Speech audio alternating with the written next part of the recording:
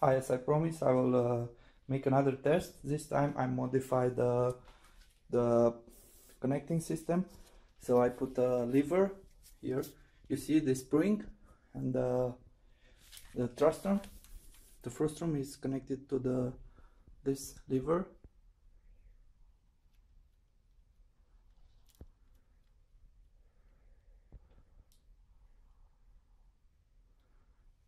So in this way I will measure the thrust. Now open up the scale.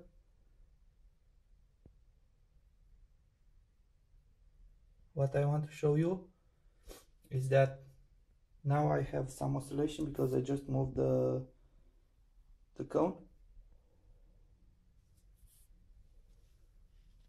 So I should wait a little bit.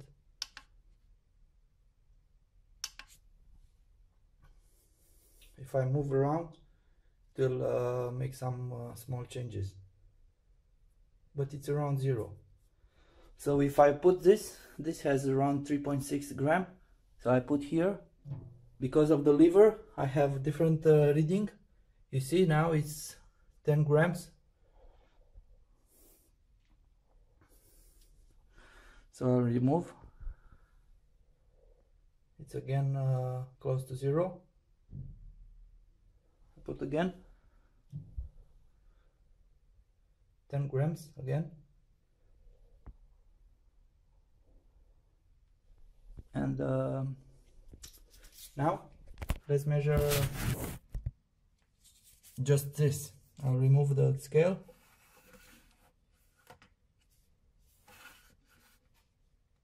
Stop. Start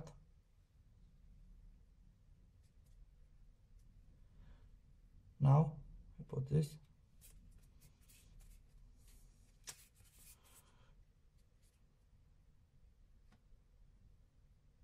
So it's 3.6 gram. For repeatability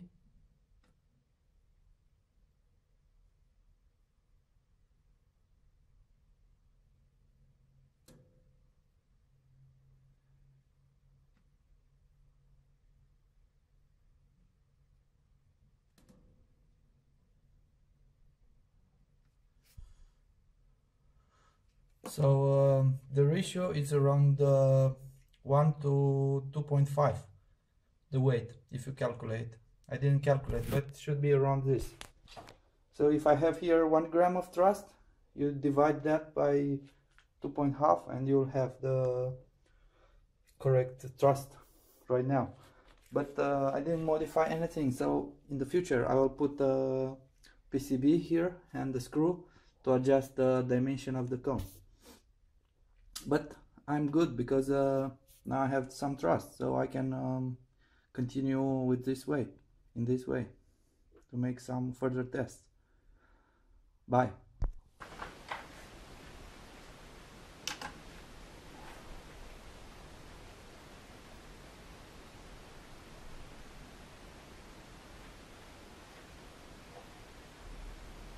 Three two one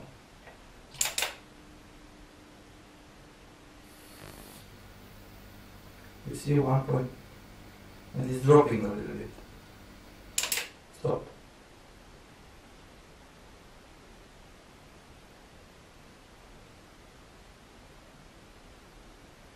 Again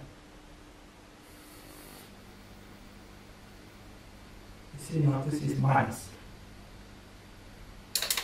Dropping. Maybe when it's hitting the power is dropping again.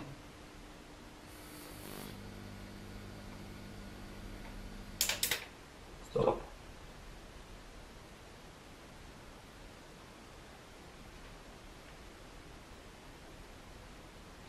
Again.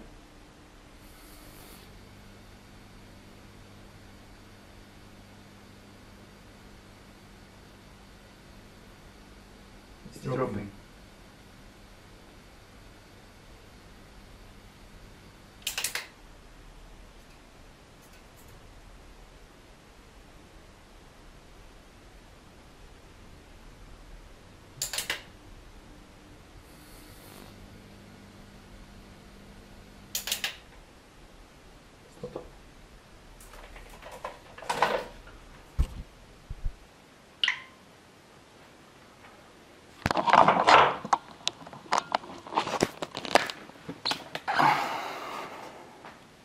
This is the setup